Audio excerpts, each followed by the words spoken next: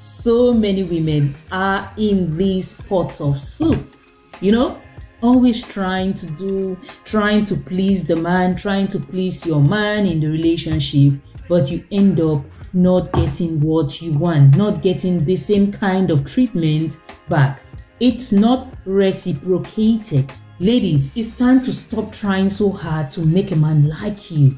Of course, we want to make a great first impression, but trying to change yourself to fit his preferences is not the way to go. If he doesn't appreciate you for who you are, he's not worth your time.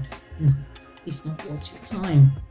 Remember, it's about finding someone who aligns with your values and respects you just as you are.